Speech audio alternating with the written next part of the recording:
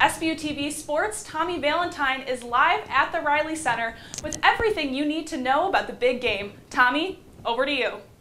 Thanks, Emily. St. Bonaventure is just minutes away from taking the court for their final practice before heading to Dayton, with a chance to claim their second Atlantic 10 championship tournament in program history Sunday afternoon. The formula is simple this weekend for the Bonnies win, and they're in the NCAA tournament. Lose, and head coach Mark Schmidt is still confident his team's resume is strong enough to allow them to go dancing next week as an at large bid.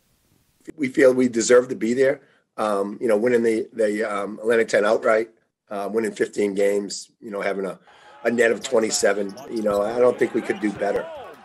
And the Bonnies will match up against the number two seed VCU for the third time this year. The previous two meetings between these teams made for arguably the best games in the conference this season. January 20th in the Reilly Center, Bonaventure, of course, had that memorable second half comeback where they outscored the Rams 45 14 en route to a 16 point victory. But February 12th in Richmond, Mike Rhoades' bunch got their revenge with the 67 64 win.